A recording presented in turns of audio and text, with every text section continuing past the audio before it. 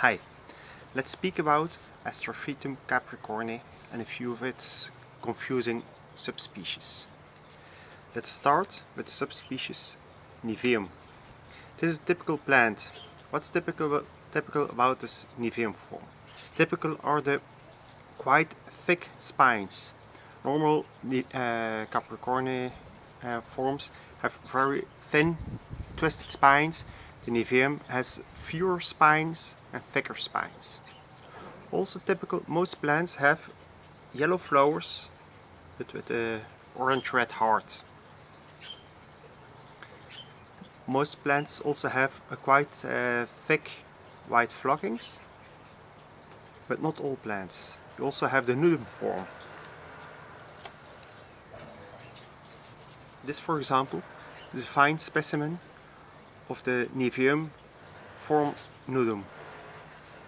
So with a normal green body. This, apart from being nudum, this is also a variegated plant. I, I grew it from seed batch many years ago. Look, this plant from same seed batch has even more uh, variegation on the on, on its uh, body. But both plants are typical Niveum. Why is it this Niveum and not the next uh, form, Crassispinum. These plants still have the red throat and flowers, while the Crassispinum, these plants have a pure yellow flower. So yellow flower without the red throat, which is uh, typical for most uh, Capricorn forms. I must say these are let's say not a typical normal uh. This is a Japanese, uh, Japanese selection called Taiho. Taiho is let's say synonymous for uh, but usually it refers to plants with more defined, more stronger spines, thicker and stronger spines.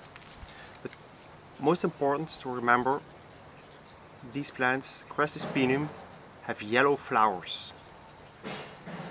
Okay, that's clear. Then what about Crassispinoides? This plant doesn't look at all like, like Crassispinum. This has a naked body, this has a flecked body. This has strong spines, this has thinner, twisted spines. Actually, Crassispinum is a selection made from Uh, old habitat collections of Astrophytum capricorne variety minor. These plants usually have the red throat and the flowers. Within habitat you also find some specimen without red throat, so with pure yellow flowers. In the past some collectors collected these plants, did some selective breeding on it to create this line. Due to the yellow flowers that used to be typical for the Crassispinum, they called it Crassispinoides. Why? Because this, for, this plant created some confusion about uh, among collectors about, okay, it's a yellow flower, it should be Crassispinum. No, it just looks like Crassispinum, Crassispinoides. Remember, Crassispinoides is just a, a cultivar derived from uh, the Minus variety.